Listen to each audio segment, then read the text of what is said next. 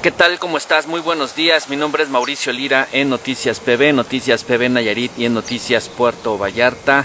La mañana de este viernes 20 de mayo del 2022, haciendo una transmisión eh, respecto a una denuncia que recibimos a través de los mensajes de inbox en estas páginas informativas de internet y de redes sociales eh, respecto a este jardín de niños Miguel Hidalgo y Costilla que se localiza en el fraccionamiento de la Aurora, en donde voy a leer textualmente lo que es la denuncia que nos llegó.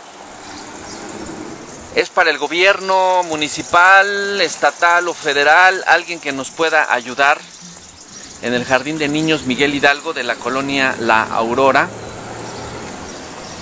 Hay tres salones que no tienen luz desde el huracán Nora y los niños tienen mucho calor.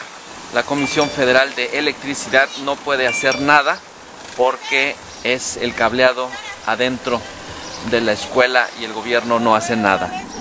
Están solicitando a la Comisión Federal de Electricidad la dotación del servicio de luz para tres salones y es que con el aumento de la temperatura y del el calor los niños están padeciendo los estragos de temperaturas.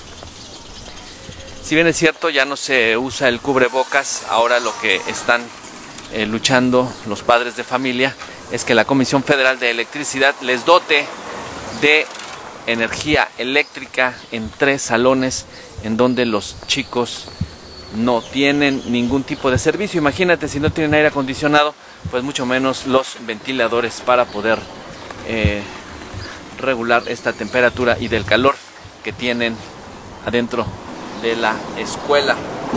Aquí te muestro parte de la denuncia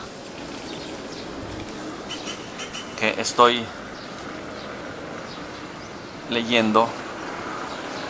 Le comento, la denuncia es para que el gobierno o alguien nos ayude en el Jardín de Niños Miguel Hidalgo de la colonia La Aurora. Hay tres salones que no tienen eh, luz desde el huracán Nora y los niños tienen mucho calor. La Comisión Federal de Electricidad no puede hacer nada por ayudar a este plantel educativo. Mi nombre es Mauricio Lira, Noticias PB, Noticias PB Nayarit, Noticias Puerto Vallarta. Gracias, muy buenos días.